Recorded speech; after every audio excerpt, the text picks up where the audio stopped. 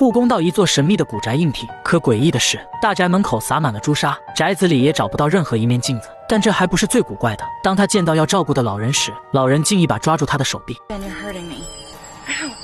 老人充满恐惧的眼神中，明显有话想对他说。可就在这时，他的老伴端着药走了进来。原来老人不久前因为中风导致全身瘫痪，每天必须按时用药，否则就会像刚才一样，身体不受控制的扭动。果然，当老伴喂完了药，老人的状态明显安静了很多。可护工却觉得事情没有这么简单。他照看过的病人少说有十几个，而老人明亮的眼神完全不像中风的病人。夜里外面下起了暴雨，一声惊雷把护工惊醒，紧接着从老人房间传来一声巨响，护工赶紧起身上楼。等推开房门时，却发现老人已经不见了踪影。打开窗户。才看到老人竟顺着屋檐向前爬行，结果一个不小心从屋檐摔到了地上。他赶紧推轮椅下楼救人，却意外看到老人的床单上赫然写着两个大字“救我”。他越发感觉不对劲，于是暂时把床单藏了起来。等第二天律师过来更新遗嘱时，护工想把床单拿给他看，却发现上面的字迹竟然消失了。宅子里发生的种种怪事，让护工觉得这里一定藏着什么秘密。突然，他想到一个地方，阿婆之前说老人是在阁楼中风的，没准那里会有什么线索。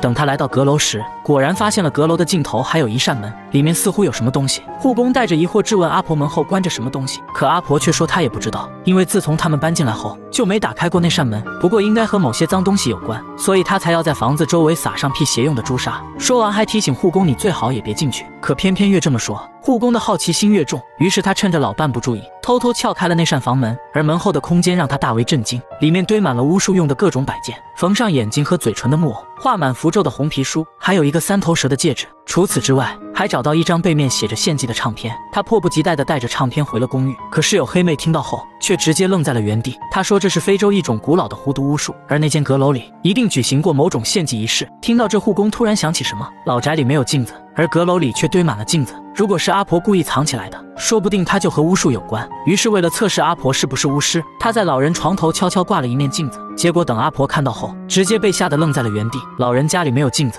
护工贴心的挂了一面，可老人的老伴看到后却非常生气，还大骂护工，在我的房子里不允许出现镜子。护工看到阿婆这么激动的反应后，也不装了，直接摊牌。他说自己去过阁楼，还发现了不少巫术用具，如果不说清楚阁楼里到底藏着什么秘密，就准备辞职走人。阿婆无奈，只好点起一根黑烟，讲起了老宅的历史。九十年前，这里原本住着一个银行家，他家有两个孩子和两个非洲仆人，而那间阁楼就是两个仆人的房间。这天晚上，银行家举办了一场派对，就在大家玩得开心之际，两个孩子却突然消失。等众人找到阁楼时，却发现两个仆人正在教孩子使用巫术。银行家大为震怒，于是联合众人把两个仆人吊在树上，活活烧死。之所以房间里不能放镜子，是因为通过镜子能看到两个仆人的亡魂。自己的老伴也是因为照了镜子，才导致像中了邪一样全身瘫痪。可护工非但不信，反而还说自己也照过镜子，为什么没有中邪？阿婆说巫术这种东西，你只要不信，他就伤不到你。听完阿婆的故事，护工还是半信半疑。直到这天，他正准备给老人洗澡，可老人却一直盯着他的镜子。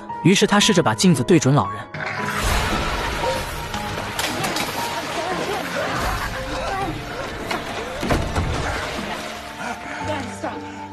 看来老人还真是中邪了。不过护工突然灵机一动，既然巫术能害人，那说不定巫术也能救人。于是他找到一位巫师，向他描述了老人的症状，希望可以传授他破解之法。按照巫师的方法，他一边念动咒语，一边用水清洗老人的头。没多久，老人居然真的开口说话了。Help you out, Ben?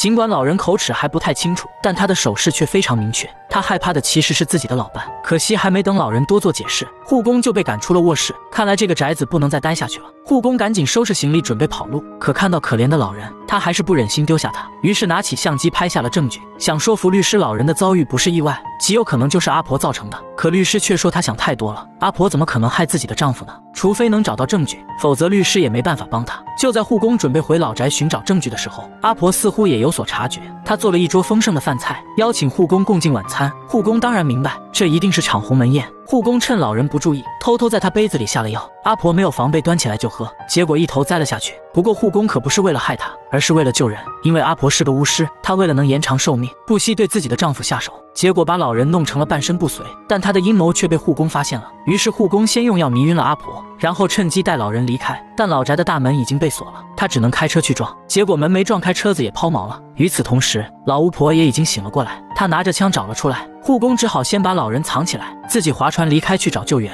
他第一时间找到律师，说自己拿到阿婆害人的证据了。就在律师准备报警时，一个电话突然打了进来。趁律师出去接电话，护工就在房间开始闲逛。结果这不逛不要紧，一逛还发现了个惊天秘密：律师的桌子上放满了自己的照片，而且抽屉里还有一枚和阿婆一模一样的三头蛇戒指。难道律师也是个巫师吗？还没等护工反应过来，就被律师一把勒住脖子，然后又被带回了老宅。护工这才明白，原来他们从一开始就盯上了他，要献祭的根本不是老人，而是年轻的自己。危急时刻，他想起巫师说过，红砖灰可以辟邪，正好自己房门口就撒过砖灰。于是他趁律师分神，赶紧跑回自己的房间。结果律师看到地上的砖灰后，还真就不敢进去了。可一直待在房间里也不安全，他还是得想办法逃出去。随着老巫婆的声音越来越近，他只能绝望地逃进阁楼。在这里看到了满地的蜡烛和镜子，突然他想起了那个庇护咒。既然现在逃不掉，那不如就用这个保护自己，因为只有魔法才能打败魔法。于是他开始按照上面的方法，开始排兵布阵。等老巫婆找上来时，护工已经完成了自己的阵法。